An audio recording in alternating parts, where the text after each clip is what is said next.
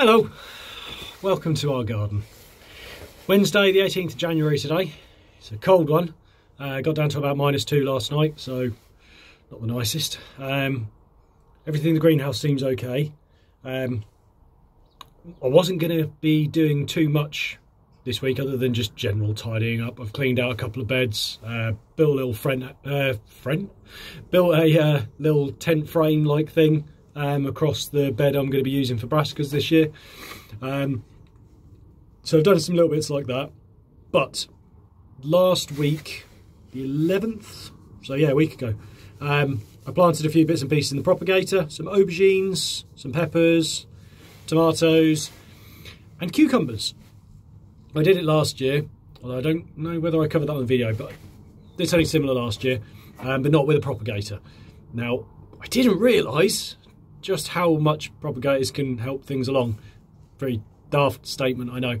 Um, a lot of it's germinated. The um, peppers, they've not germinated yet. Everything else, however, has. And the cucumbers have gone a little bit mad. So I'm going to be potting them up today. Um, still keeping them in the house, um, but I think I might step them away from the propagator and just pop them on the windowsill upstairs. They'll be by a bioradiators, they'll get additional heat from there, but hopefully it'll stop them springing because they are very, very leggy. Um, not sure if they're going to work or not, but you know, it's my first year with the propagator, so thought I'd give it a go.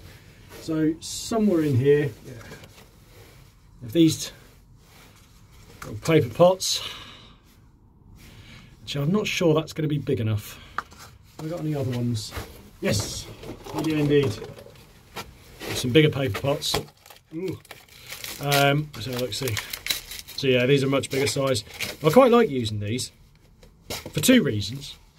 Firstly, biodegradable. So when I come to pot them on again, I put the whole thing in so I'm not going to disturb the root network.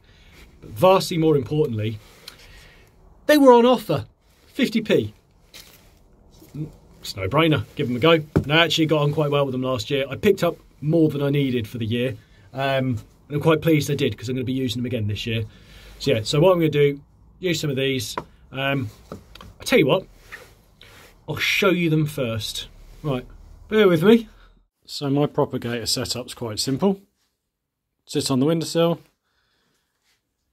And As you can see, these were the 11th. My cucumbers seem to have gone a little bit mad. Now I have unfortunately lost one due to my cat. It snapped and I don't think that's going to come back, but we'll see. But I think get these potted up individually and I can set them up just over there. Tomatoes. Tomatoes are actually doing really, really well. I didn't realise how dry the cucumbers have actually got. Yeah, needs doing. Aubergines. Ironically, the one I'm not supposed to plant just yet has come up nicely. So they're the pinstripes. The early longs haven't come up yet. And then nothing yet on the chilies. These were all planted. Oh no. No, nothing on the chilies. These were all planted on the 11th. Right, let's head back to the greenhouse. Yeah, so as you can see, they are a little bit leggy, so I'm going to pot them on. Um, I'll just come back to the greenhouse and I'll have a little root around for my compost, see what I've got. Um, I've got some general purpose compost, so that's absolutely fine. I can use that. The only issue is it's uh it's frozen solid. I don't think it'll be a good idea to put them in there just yet. So what I'll do is break it all apart, which I'm not sure I can. Yeah, I certainly can't with one hand, so I'll have to do that off camera. Um, break it all apart, get the pots all set up with the right amount of soil in them, and then I'll have to bring them in to thaw out. So I'll probably bring you back this evening um, to do that. Or most likely I'll just forget to record that bit and then either add on a little bit or there'll be some text up here saying James is a pillock and he forgot to record it. Um, yeah, so I'll do that in a minute. But while I'm in here, we are having a little bit of success, which is quite nice. Um, if I move my cup of tea. So, let's switch the camera around for a minute and I can show you. So, this is how I'm trying to keep things just above freezing. So in here we've got our spring lettuce. It's just a mixed, I think it's called mixed gourmet. Um, but they're all springing up nicely. So I think once this frost is gone, then I'll probably look to putting them on some larger pots. Or I've got some nice long pots somewhere.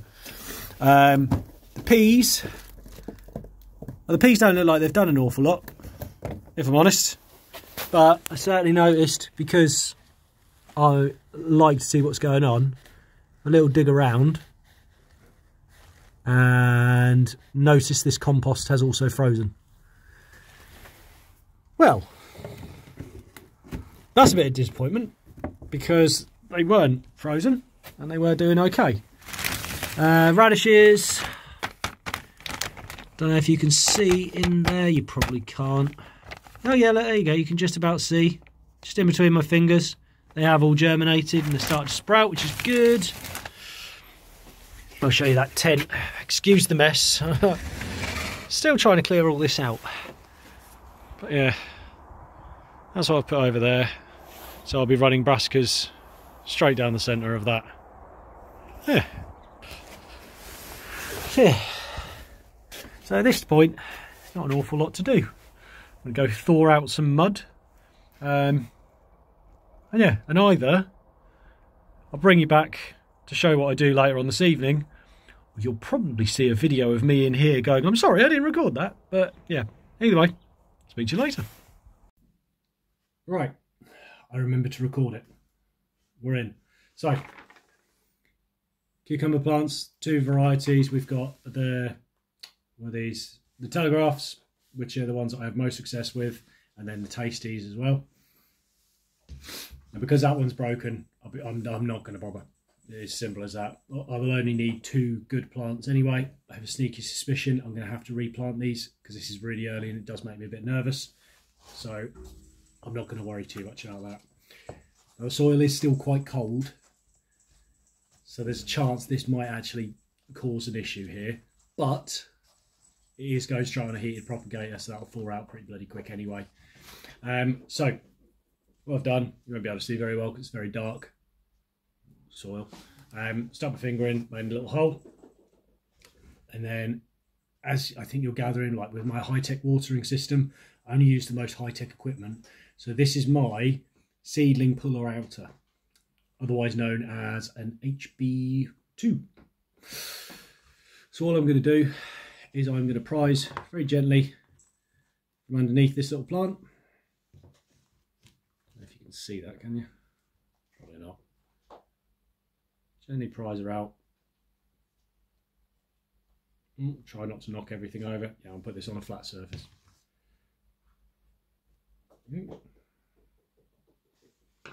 I'm still absolutely amazed that this is a week it's taken. Just one week. Shocking. Right, so she goes. Gently kneading her down. Now she doesn't go all the way down to the very bottom. That'd be a bit too much for her. Nick some of the soil out of this. It's really warm, this soil. Yeah, of course it is. Heat a of course it's warm. Silly thing to say. Like so. Same again for the other one that's still good. Use my high-tech seedling puller outer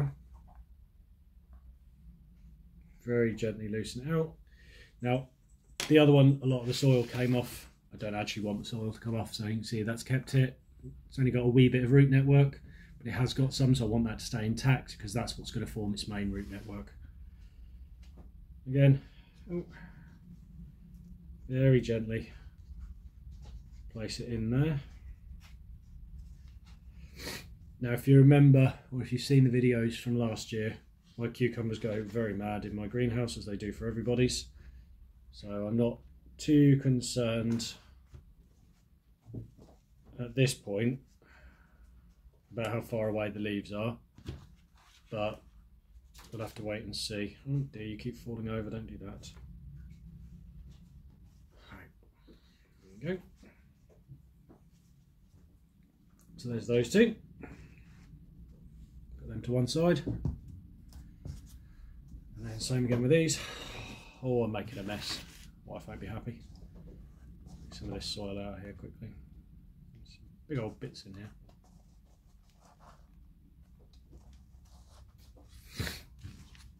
Right, so these ones are the Tasty Kings. These ones are nice. These ones I tend to grow outside, but this year I'm going to give a go at growing them in the greenhouse as well.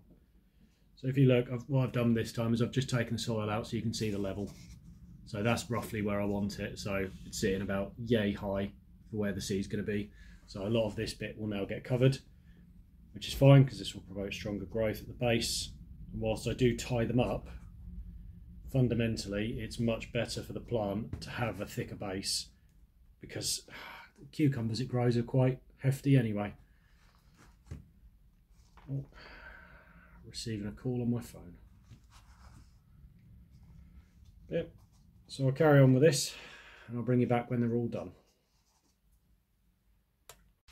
Right, so that's them now all in their pots. Now, I don't want to be adding too much water here.